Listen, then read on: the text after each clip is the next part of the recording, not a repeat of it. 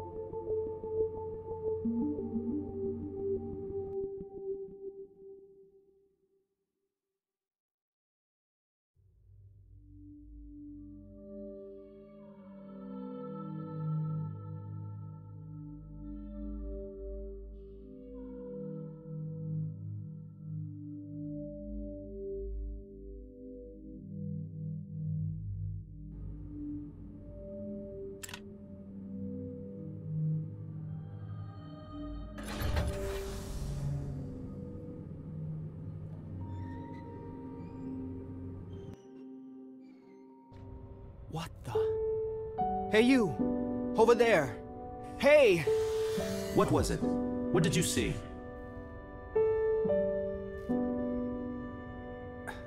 I don't know. It looked like there was someone over there. I told you, apart from you and I, there is no one alive on this island, Subject 13. You must be mistaken. I can assure you, I... That is enough, Subject 13. A scientist of your caliber should not be wasting his time with such inanities. Please, do try to concentrate on your mission.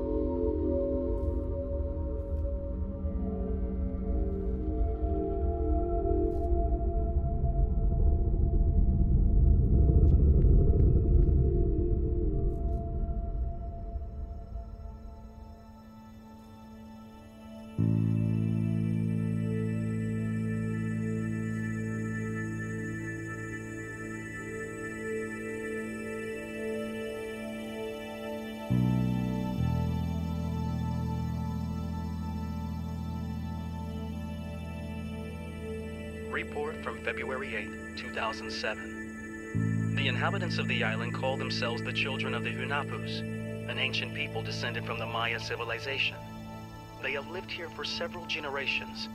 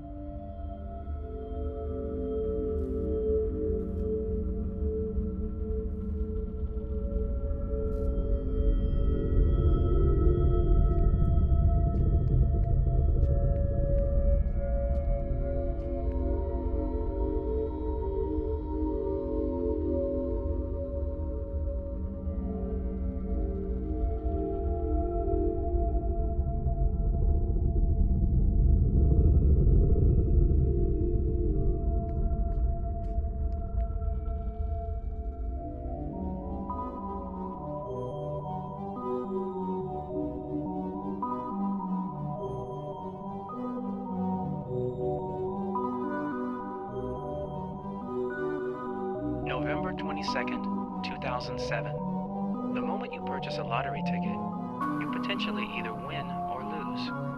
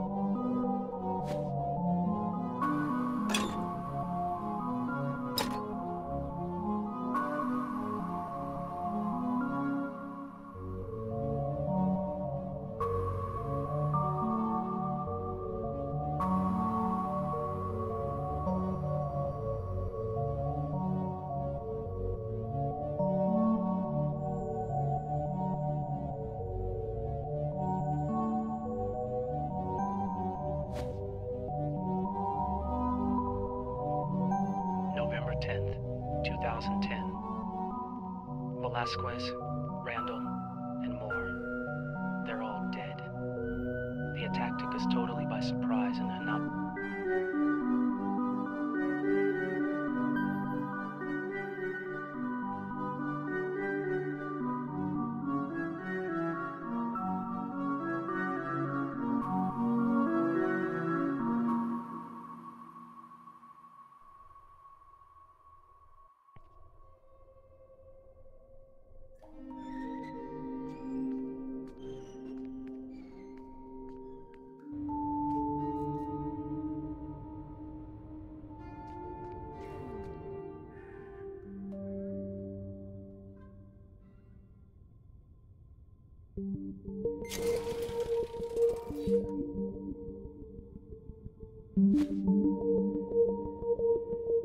September 13th, 2004. By the time you read this, I'll be far away.